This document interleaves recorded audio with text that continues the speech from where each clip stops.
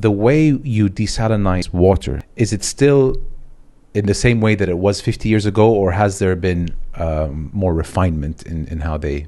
You know, it's good that we have this uh, conversation here in Jeddah Mm. because, uh, you know, the desalination history of the kingdom started in uh, the year 1900 Wow. here in Jeddah, where the two first uh, thermal desalination privately owned were set up here in the kingdom. Do you work firsthand with the Ministry of Agriculture? Yeah, we do. What are they looking for? They are looking to save uh, to save water, to implement the more efficient technology in the management of the water. We need to think that we always speak about the, the generation of water, but uh, especially in this country, we have many cities inland. To produce one liter of desalinated water, you need to take two liters from the sea. One liter will be this potable water, and another liter will be brine. To produce this water in the most efficient manner, lowering the consumption of energy and as well lowering the generation of waste in the production of this water. What do you tell your kids? How do you motivate them? What's your advice to them? To learn something new every day.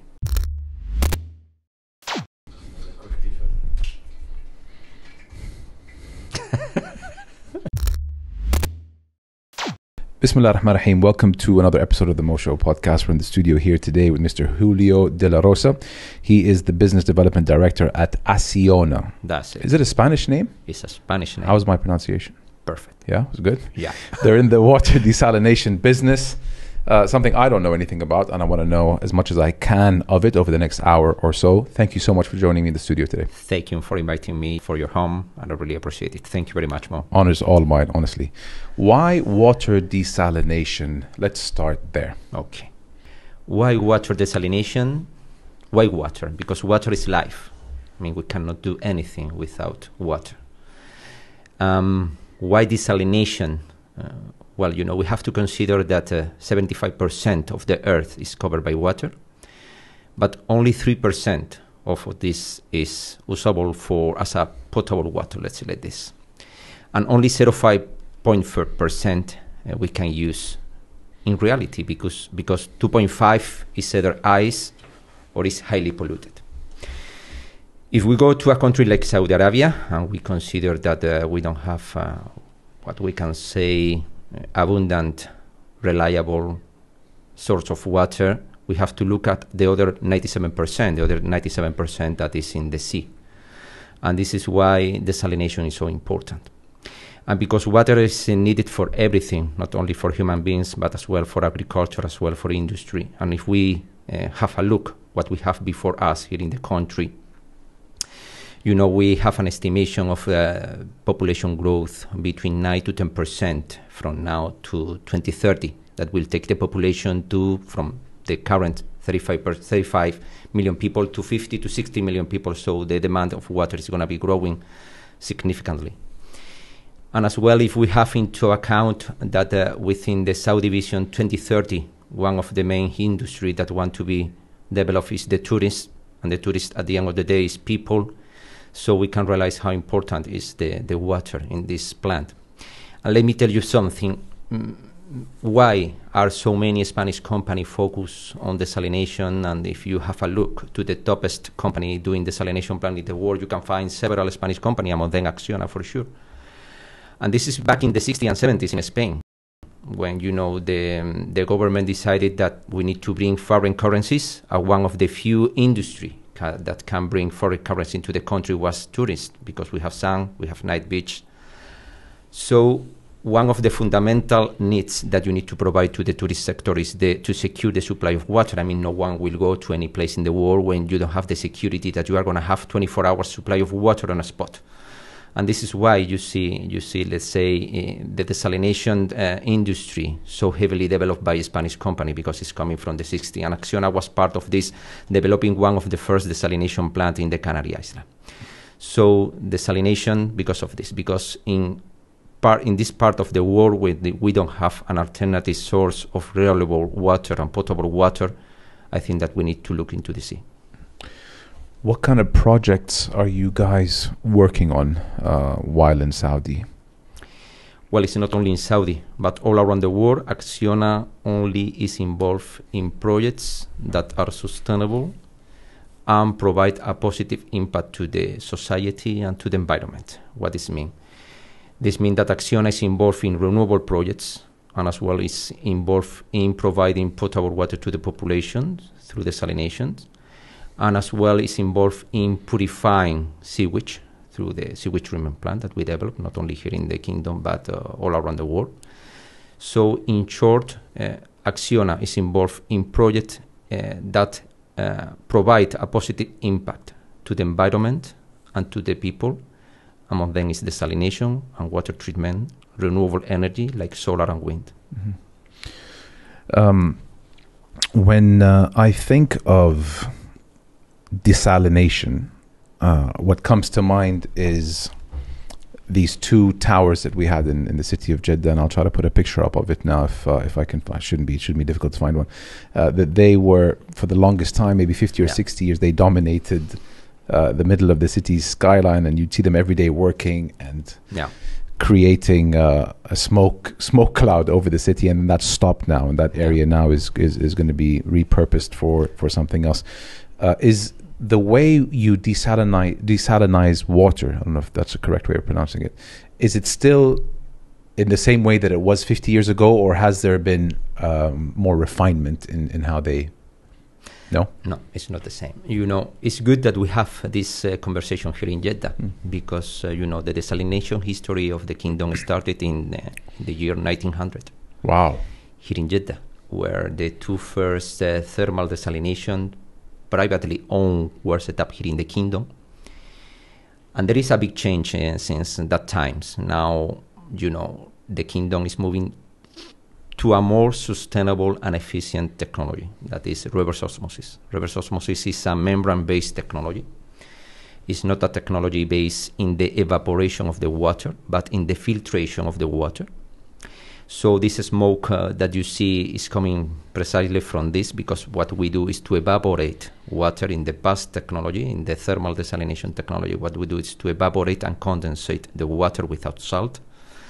And this is why you see all this smoke.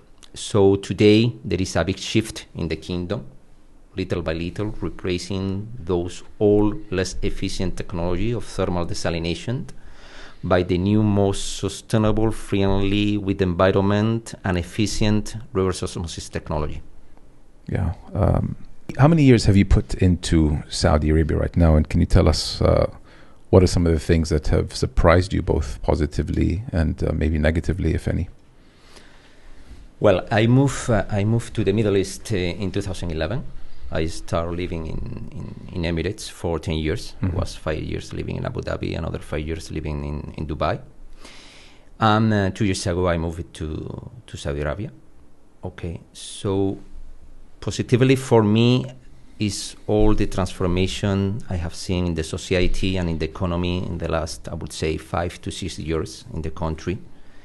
How the country has been open economically and socially, how the transformation in the society and in the openness of the country has happened. Um, and negatively, I, I, would say, I mean, so far, uh, I have not been able to identify nothing negative to me because I do understand that the transformation in the society and in the economy is happening little by little. And I would say I'm really excited to see how this ends under this uh, Vision 2030 and how this program is materialized. And this is for what Acciona is being here as well to help to help the kingdom, you know, in the in the development of projects, sustainable projects, uh, just uh, to help the kingdom to materialize this vision 2030. Mm-hmm. Sustainability, something that is uh, a priority in, in in so many different entities and uh, and ministries these days in Saudi Arabia. What kind of relationship do you have with that word, uh, be it uh, on a personal or as far as Acciona is concerned? What do you know? you know, sustainability already drive every single decision that is taken in Acciona. I mean, today in Acciona, we only develop that uh, will provide a positive impact to the planet and to the society. We think the only way to remain in the same situation we have to do and even to improve the situation we have is by developing sustainable projects as we mentioned before, either as desalination plants and renewable energy. Me personally, I have a profound conviction about sustainability because we need to, let's say, mm, the legacy that we need to give to our kids should be a planet in better conditions to the ones that we receive it. And I'm not saying the same conditions because if we give them the planet in the same condition that we have today, or we remain in the same situation, consuming the number of resources that we are consuming today to have potable water, to have energy, and to do the activities that we have, for sure they will not last long. And we need to be sure that we give this legacy and we are treating fairly what we are giving, that is this planet. So, sustainability is the way to secure that the legacy that we give to our kids is, uh, let's say, a better planet than the one that we receive it. Mm. How many plants so far have you opened in Saudi? And tell us a little bit more about the impact that those plants have had so far. Yeah, so far uh, we have here in the kingdom 14 projects. 14. Yeah, 14 projects. We have, yeah, it's a significant number of projects. We have seven desalination plants. We have three wastewater treatment plants, and we have, uh, let's say, we are operating the whole water cycle in the south region. You mentioned before Baja, mm. Najran, Jizan, and Baja. This is an area that is equivalent to 240,000 kilometers, 200,000 240,000 square kilometers. That is equivalent to the half of Spain, which is the third largest country in the in the in Europe. So you can imagine how important for us is and there we have a number of projects. Okay, the impact we have is that shortly we are going to be producing 2.4 million cubic meter per day capacity of desalinated water. This is uh, equivalent to provide water to 10 million people. That is around 20% of the population today. We are providing treated water to the farmers, so this will be around 440,000 cubic meter per day. This is going to be saving fresh water, and as well we are going to be providing to them what is uh, the sludge that we produce is going to be provided as well to the farmers, and this is going to be saving the use of uh, pure chemical fertilizers. And on the top of this, these wastewater treatment plants are going to be fitted by renewable energy. And this is why these three projects got what we think is a landmark achievement for us in the country. That is that we secured the first green financing for all these projects and what is green financing? Green financing is a trend in the market today, in which uh, you know you have to secure to the investor in the project that all and every SAR or dollar invested in the project is used only and only in sustainable projects.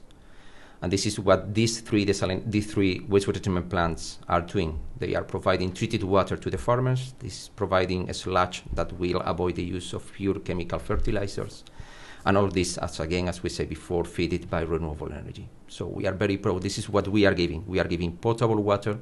We are improving the management of the of the water cycle, the whole water cycle, and we are providing treated water to mm. save uh, fresh resources of water. It's a fascinating industry, even more so for someone who comes with a cold eye like myself. I know nothing about the desalination industry, and okay. uh, and uh, forgive me if some of the if some of the questions come off as silly or no, no, or obvious, sure. but um, bear with me. What kind of role do you, Julio, play in in putting all of this together and make it, making it all come to life? Well, my duty is to identify the opportunities as soon as possible, to understand the needs of the client, to know in which way we can secure the project and we can convince the client about, let's say, the convenience to develop uh, sustainable projects and to share this knowledge with the team, not only here locally, but as well in Spain, to define the best strategy for making a success uh, winning the projects. Um, not only winning the project because we want to make profit. This is something I would like to highlight. You know, in, in Acciona, when we develop projects, we don't consider only, let's say, the financial part as well. We need to put into the picture the non-financial aspect of the project. What is the benefit of this project is providing to the society and securing that this project is developed in the more sustainable manner because otherwise we are not going to be there. I mean, Acciona no longer is going to be in a project that has not a positive, what we call environmental, social, and governance evaluation. That is, that the impact in the project is not let's say, a financial project. It's not only for the sake of making profit, but for sure to generate a positive impact in the planet and in the society. Do you work firsthand with the Ministry of Agriculture? Yeah, we do. Uh, what's that experience uh, been like, and what kind of work do you guys do with them? Do they facilitate? Do they? Uh, how do they support? Well, under the Ministry of Agriculture, Environmental, Water and Agriculture, there are three main water bodies the Saline Water Conversion Corporation, the SWPC, Saudi Water Partnership Corporate Company, and the National Water Company. We work with uh, all the three. The cooperation is, uh, is uh, really good uh, because, you know, where, what, what are they looking for? They are looking to save, uh, to save water to implement the more efficient technology in the management of the water. We need to think that we always speak about the, the generation of water, but uh, especially in this country, we have many cities in land. Um, the water, one that is desalinated, you need to carry on the water to the place in which it's consumed, and as well to need you, you need to assure that the losses of this water all the way from the coast to the point that is consumed are lower and lower. And this is where we are working with all these bodies are working to optimize and to reduce the loss of water along the way. To produce this water in the most efficient manner, lowering the consumption of energy and as well lowering the generation of waste in the production of this water. And the experience has been very positive. We we used to try to define, let's say, a cooperative approach a win-win situation because the success of the private company is the success of the client and the other way around. We used to define clear channel of communication with the client. This is very important, and we need to understand each other needs.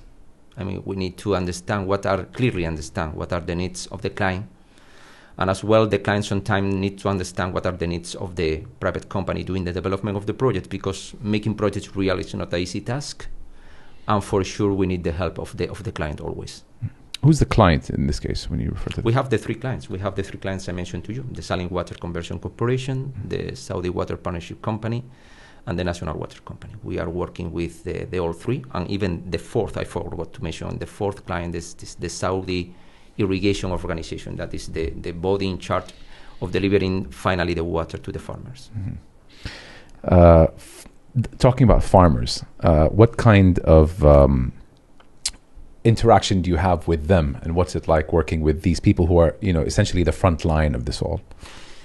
Well, directly with farmers, of interaction right right now doesn't exist. Okay. Again, what we are doing is to provide uh, what we will do is to provide the sewage treated to the to SIO itself and to SWPC and they will deliver the water, let's say, to the farmer directly. We don't have a direct contact with the final user so far.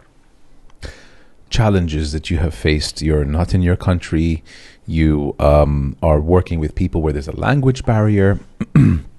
um, even though yani, you're you're you're obviously so knowledgeable about the, the business that you are in, but I'm sure there are days where you are, are are challenged in so many different aspects not just language, but even just maybe the way of doing business yeah. here is different to Spain or the UAE. Yeah. any like memorable challenges that you can share with us? Yeah, for sure, for sure. You nailed the point. Is uh, one of the challenge we have is that uh, we are working and setting up teams that incorporate people coming from all around the world with different visions, with different cultures, different religions, different everything. Okay, different ways of seeing the life. So it's it's not easy because one important thing is that who deliver projects is not the company but the people. The people is the one delivering the projects. Yeah. In our company, we put the people in the middle of everything because at the end of the day, the companies are people with knowledge. Nothing more, nothing less.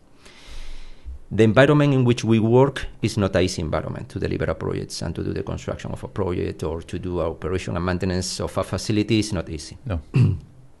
and you need to motivate the people in daily basis and this is what uh, what I would like to do to be surrounded by happy people. If we don't have people, uh, happy people and people motivated, we will we will not deliver the project, no matter what company you are working or what resources are pumping the company to you. And we put this under the umbrella of the ESG program that Acciona has. We need to to motivate people. We need to make the people feel that they are important, from the tip boy to the project director All of them are important. All of them are providing something to the project. All of them has value what they do in daily basis. We need to understand that uh, everybody that is smiling maybe is bearing a problem. Everybody is, be- is bearing a problem always.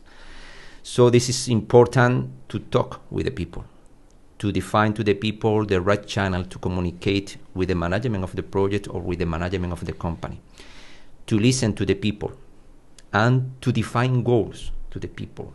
Which is your real target? Where you should be focused to show them later when we reach this goal that what they did for the project or for the let's say for the execution or for getting the tender the, whatever it is has value for the company and is rewarded by the company عجينة محضرة بشغف قوامها خفيف وهش وطعمها ولا أروع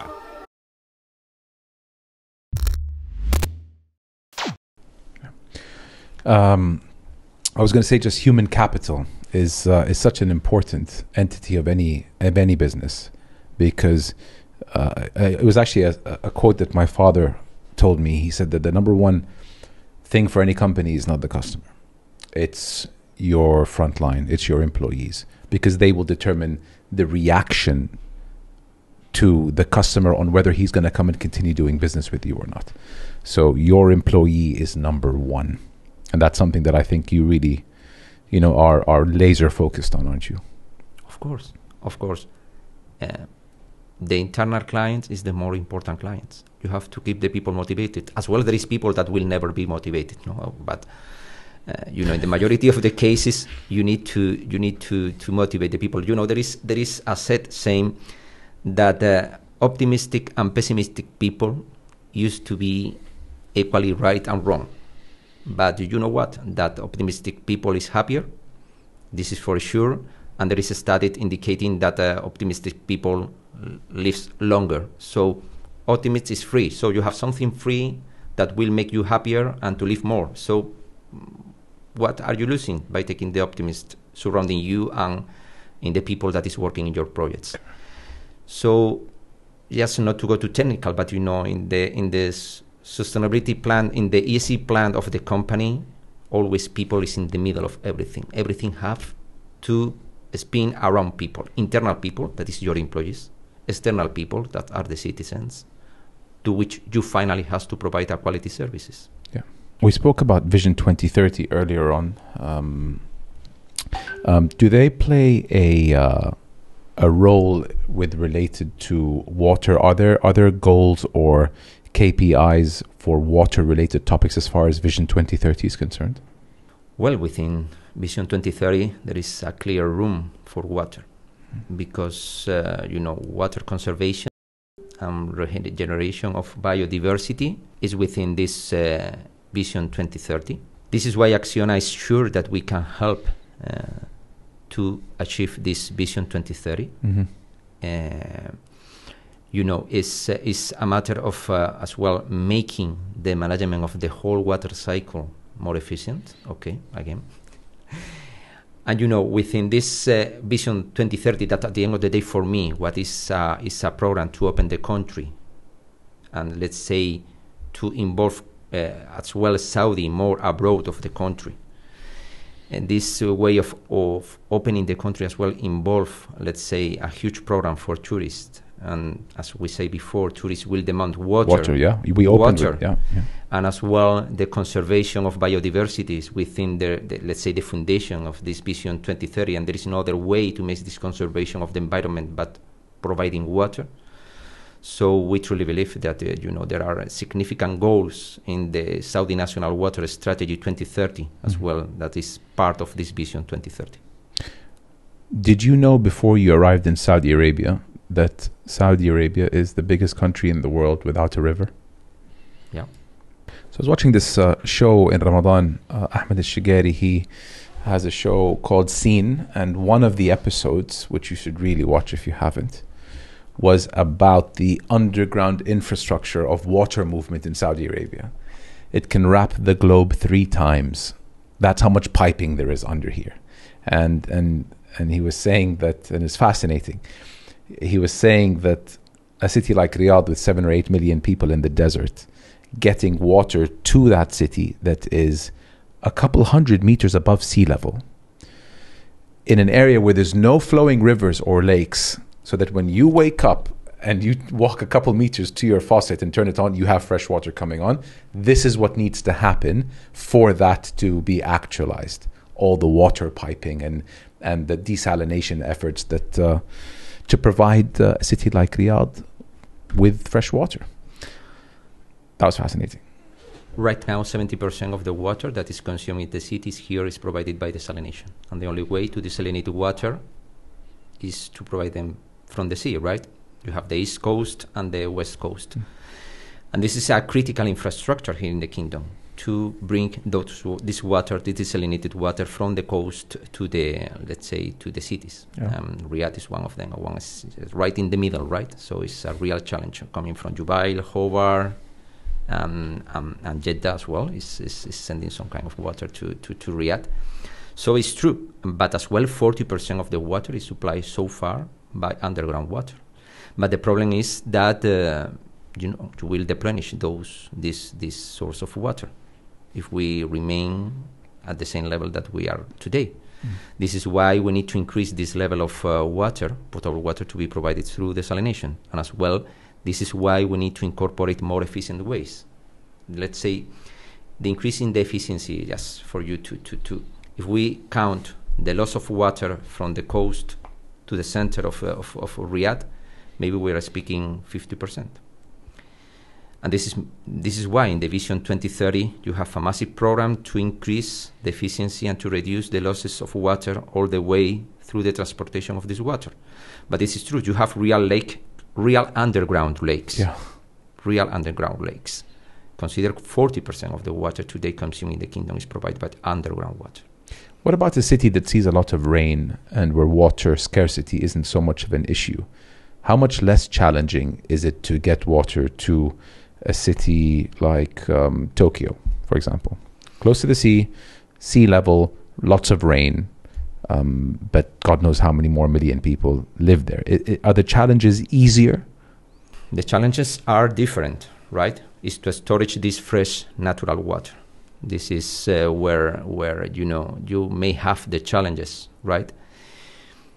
I mean, if there is not mountains at all, it will be difficult for you to build uh, big dams.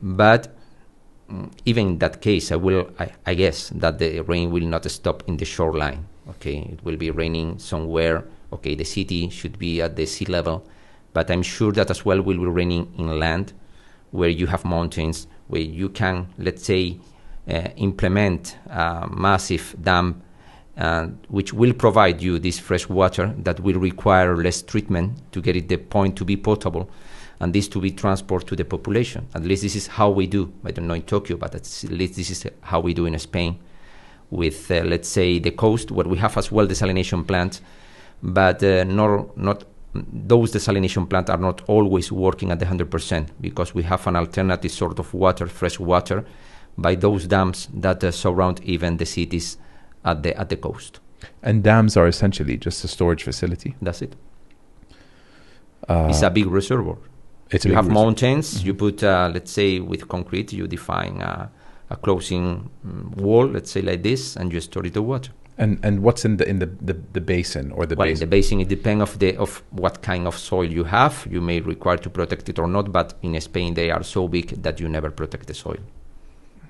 Were there any ever instances? Maybe I watched too many movies. I'm not sure, but were there any ever instances or examples of when there was a problem with a dam and then the town had to evacuate? Or am I watching a movie right now? Well, in Spain happens once. It's happened? yeah, yeah. In the in the 80s, if I'm not No wrong, in. Valencia, close to Valencia. And damage happened? Yeah, many people die. No way. Yeah, sure. hmm Yeah, it can happen. And even if it rained a lot, you know, it will get full Overflow. the dam. Yeah. Uh, either it will it will go an overflow or even we destroy the wall that is closing the dam. Yeah, it's happening. It can happen, of course. It's happening not only in Spain but all around the world. Yes. So construction of dams, I think, uh, you know, currently are being built maybe when where they're not too close to cities and towns. So in the event of an issue, the town is is, is safe. Well, you know, it's uh, sometimes you need to balance. But right? then you need to be close to the you town, Need, so- you need yeah. to balance, right? You need to put the, the dam close to the, where it's going to be consumed to make it cheaper. Yeah.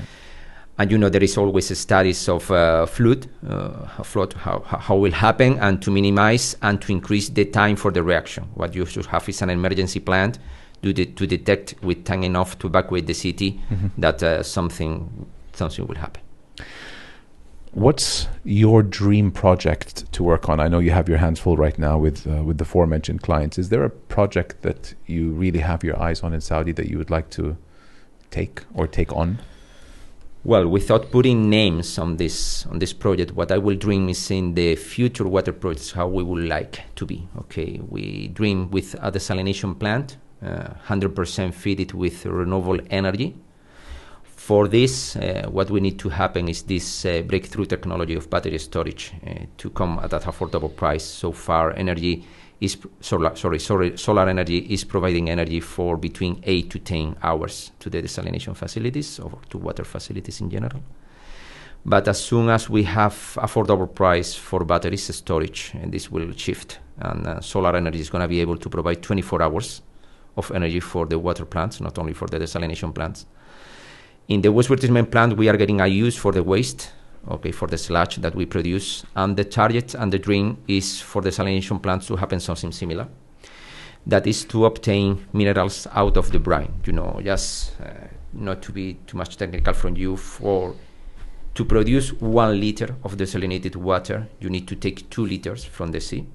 One liter will be this potable water, and another liter will be brine. Okay. This brine so far is disposed in the sea after doing an environmental study that's just not to harm the natural habitat of the sea.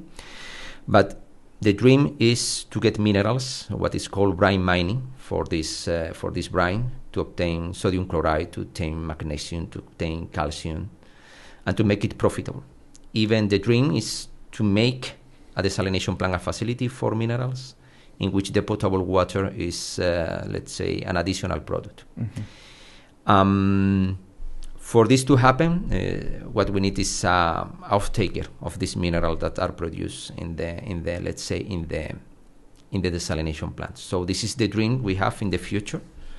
Without putting any specific name, what I can assure you that is the estimation is that Saudi will be investing almost three billion dollars in this uh, brine mining by 2030.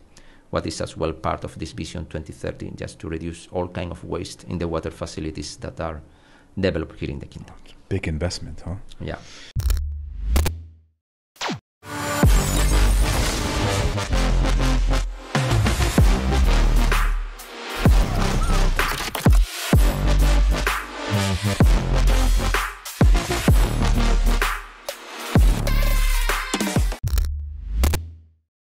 When you said batteries, my mind also went to batteries for solar-powered cars or ele- electric cars. Yeah. That, that's that's also something that uh, Should be similar, yes. yeah, yeah.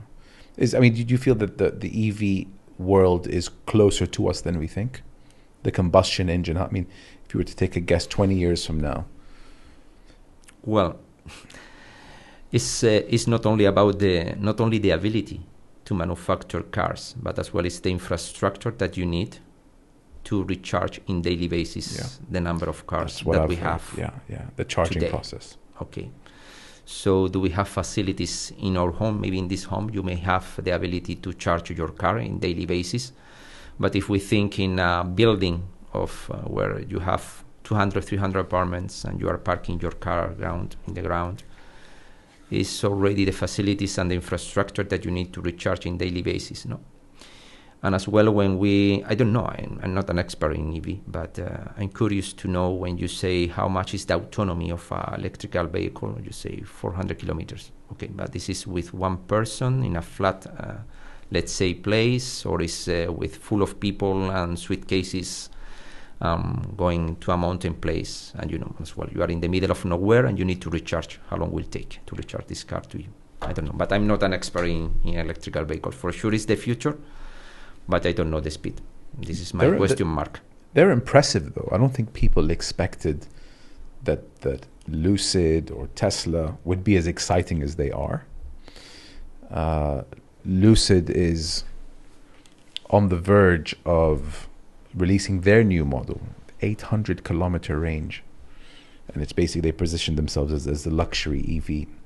They're an impressive, impressive car. Even Tesla, you know, you got to hand it to them. Uh, 10 years ago, electric cars were uh, perceived to be boring and the fun of the combustion engine is over. But they managed to make it better than one anticipated. Have you driven any? No, never. Okay, let's see. I'm, I'm, I'm, I'm not against. I'm not saying nothing against the electrical vehicle, but if you ask me, I have some question mark about about the the speed in which those cars are going to be implemented. For sure, the technology is there, but my question mark is not about the technology of the car itself or the autonomy, but the infrastructure outside the factories and the manufacturer of these cars. Is let's say the infrastructure needed uh, ready and, and deployed to, to, to, to be able to absorb the demand for these electrical vehicles? Yeah. This is my question mark. Do we have enough supply of energy to to cover the needs of everyone driving an electric car today? And the answer is no. I think that's that's that's what you were going, and that was actually one of the issues that I k- kept picking up when reading about the EV, is that um, there isn't enough energy right now to cover if fifty percent of the population were driving electric cars. Tomorrow. For example, we would we would not have the supply to cover that demand. Or maybe you have the energy, but I mean, potentially speaking, maybe you have the energy, but the energy as a whole, but you don't have the way to supply this energy where it's needed. Mm, yeah. Imagine that now, uh, you know, as I said, you are, you're going to have thousands of points in which you have to supply energy, a certain amount of energy, in daily basis to recharge the car, Mm-hmm. or every two days. This is my the question. Maybe the amount of energy needed, you have it, but uh, it's not the, let's say, distribute or available in the in the way that you may need it. hmm Yeah, it's fascinating. There's a shift clearly coming. The only question is when. Yeah. Um, a, a more open-ended question. Uh, if I was to ask you, why is it that you do what you do today in your role uh, as as someone in the desalination business? What drives you towards, let's say, building a sustainable future on this planet? Well, because you know, I'm truly convinced that uh, sustainability and let's say to provide project that has a positive impact in the planet is is the right thing to do. I mean, we only have to look at the what we are in this planet. No, this planet uh, is having life for the let's say last uh, 4,000 million years while human beings we are here for the last 200,000 years. So if we make a comparison, it's like if we make those 4,000 million years uh, a year, we are in the we are here for the last 30 minutes of the last day of the year.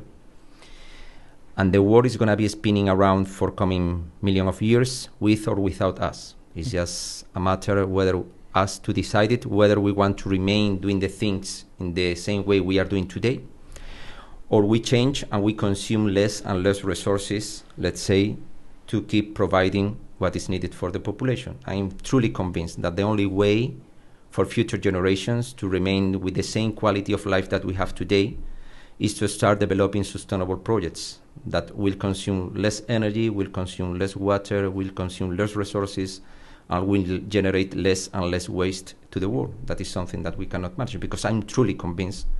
Because you know, if if you make a question to, today to someone, which is the most important devices that you have in your home now? So some people will say the tablet, the you know the the big flat screen that I have in in my in my home, the phone I have. When for me the most important devices that we have is the tap that allow you to open the tap and you have potable water. Definitely. you go to the toilet and you have uh, you, you you- remove uh, what is a really risky for the health uh, let's say outcome from your body what is the sewage and you get it treated. Uh, you can switch on the light every time you want and you have a home. So if you have potable water you have energy you have uh, sanitation you have a home and you eat three times a day. And you are sure that today you are eating three times a day and tomorrow you are going to be eating three times a day. Congratulations, you are in the 35% luckiest people in the world. Because everybody is not, is not like this. And if we remain consuming the amount of resources for the 35% of the population to be living like this for the upcoming years, believe me, I'm not sure if in the future it's going to be the 35% of the 5%. And you need to make sure yourself to be, and your son and your kids to be within this 5%. Maybe it's wiser that if we find ways to do the same that we are doing today in a more sustainable way, if we generate a positive impact in the environment, if we preserve the biodiversity that we have, if we preserve our river and our sea clean of any kind of waste, and we, let's say, if we have to pay even something more to provide this solution to the society, in the long run, if we put when we make the net present value of a project, that is, we take all the cash flow of a project and we take it to the present and we see whether it is profitable or not. Okay, so this is the financial aspect of the project. But we are forgetting the not financial aspect, the impact that we are generating to the environment, the damage that we are generating. And this has as well a monetary impact. And if we put this to the present, in some cases, maybe it's negative. And this is what Acciona is doing now.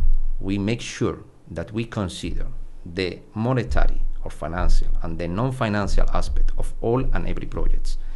We evaluate all the impact, all the impact of the project, not only the monetary ones, but as well how we impact the environment, how we impact the society, and we put all this together. Only in the case that this is positive, we will move forward with a project with a deep conviction that this is the right thing to do. It's uh, thank you for painting such a realistic picture that not many people, I think, knew about because they're far from working on things that you're working on. Like you say, 35% of the globe are lucky enough to have a roof over the head and know where their next three meals are coming from. Uh, and that's a good way to live your life. It, it could help you take care of the planet in a better way. Probably will make sure you're only using water that you absolutely need. Something as simple as when you're brushing your teeth, the tap should not be running. That's it. Uh, if you're not in a room, the light should be off. I love these automatic lights now. When you step into a room, especially in hotels and apartment buildings, when you step into a room, the lights go on. I, I think that's a good way to, uh, you know, just to to conserve uh, electricity and power. But but I mean, yeah, it's it's deep what you said, and uh, and definitely something that that touched me, as I'm sure it'll touch a lot of people who heard you right now. Uh, where do you find happiness in your life? What makes you happy? What make me happy? Yeah. My family make me happy. hmm My family make me happy. Um, reading make me happy. Doing a sport as well make me happy. Um, most of the time working make me happy. Well, you work for your family. That's it. So they're, they're not too far distant, those two. Speaking of your family, in the beginning, you mentioned uh, a quick story before we started shooting about your father. Uh, Yeah. And uh, can, can you just tell the story again? Yeah, I always say that directly or indirectly, my whole life has been related to the water, no? Because my father, uh, you know, used to have a factory for ice. You know, I'm coming. I'm, I was born in, in Cordoba, in the south of Spain, where the weather is very hot, almost like like here in Riyadh or Jeddah. Less humidity than in Jeddah, for Yeah. sure. So I remember, no, I started working with my father even when I was 12 years old. Only this in the factory, selling water, bringing sorry, selling ice, uh, bringing this ice, you know, to the to the restaurant, uh, to everywhere. No, yes, because it's, it was a need, a real need.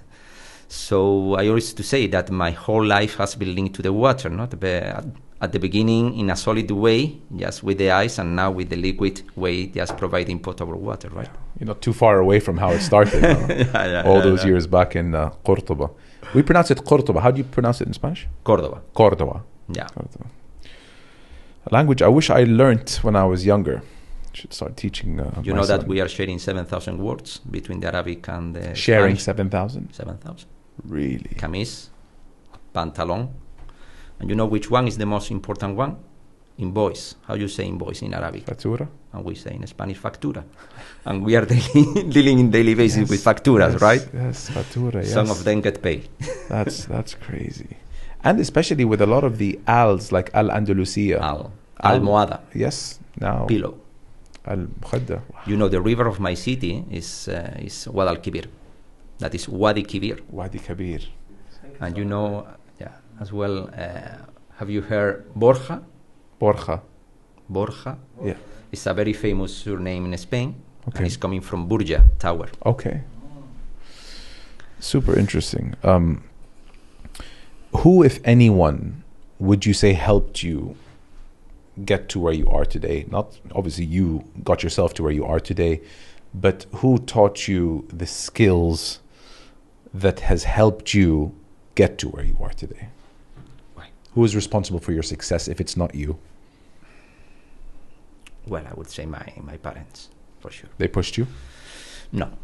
They teach me that uh, the best thing you can do in the life is to be a good person. Hmm. It always get the rewards. And working hard in daily basis and never give up. Never. Never.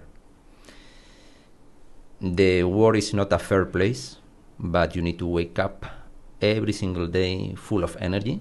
This is why, for me, what I always try to do is to keep happy all the people surrounding me, to keep them motivated for the daily task, and not only for my father, for from my thanks to my parents, but as well to my family, to my current family. I'm I'm taking and dedicating a lot of time that should be dedicated to them. Yes, you know, at the end of the day, you say you work for your family. That is true. That is true, right? Um, and then this will be my answer: is if it is not me, for sure are the principles that my parents provided to me of hard working every day, no matter what, um, with a smile, uh, being happy and motivated in daily basis. What do you tell your kids? How do you motivate them? What's your advice to them? Well, that they should. What I used to tell them, they are very young. I have a daughter of seven years and a son of 15, so they are still starting in the life, to say in, in one way. As I say before, what I was teach that uh, to be a good person, the most important thing in the life is to be a good person, to make the people surrounding you happy, not to create problem to anyone, to get motivated for the knowledge in the field that you wish, and to keep working in daily basis every single day to learn something new every day It's a good lesson. If you can learn one new thing every day, be very knowledgeable by the end of the year. that's it Yeah. Thank you very much, honestly. thank you very much Um, yeah, no, I mean, desalination. Who would have thought that I would have had someone on the show that can tell me a thing or two about desalination and what the country's up to in this field, which many of us take for granted. We expect water to be there when we turn it on. absolutely We expect it to be in the cup when we want. Uh, but a lot of work happens behind the scenes. absolutely and, it's thanks to you and, and, and the people who work uh, in, in, in your field And to our clients as well and, and to the clients, of course, for, uh, for making water so attainable. Because there are countries where there are countries in Africa where people have to walk kilometers and miles to get fresh water. And uh, I think the more people realize that, the more they would be more grateful for when they turn on the tap, fresh water is there. Really, I mean, I've, I've there is a, another drama behind this what you mentioned tell me. you say africa walking 20 kilometers you know who used to do that women and child women and child used to carry 20 25 kilometers. Something that we call water that here we will automatically throw through the toilet. That's crazy. and what is bringing this to them? Poverty health problems lack of education. They don't go to the school. They don't go to the school just to bring water. And we are in a society in which if today we don't have there is a shortage of water will be a problem but the big problem is we lose the wi-fi the wi-fi will be a drama if we lose today the wi-fi connection in a home right I'll cry. uh, we will cry. But if we don't have water, well, don't worry. I can go to the supermarket to get a bottle of five liters just for four SARS. And we have part of the world in which a woman mostly, most of the cases have to, because the man is supposed to be working, right? Um, and yeah, woman and child. This is a reality. Where, where, where's the men in this equation? Well, the man used to be working in something else. So he assumed that the water is going to be bring mainly by the woman or the child. And if that child doesn't has to go to the school, the, he will not go or she will not go. It's a lot to be grateful for. Yeah. Yeah. Thanks again, Julio, Absolutely. coming on the show. It's my pleasure. And uh, thank you again, honestly, for, for, for what you do and uh, what you have taught us during this episode. At the end, it's the, it's the company I want with that. Muchas gracias. Nada, hombre.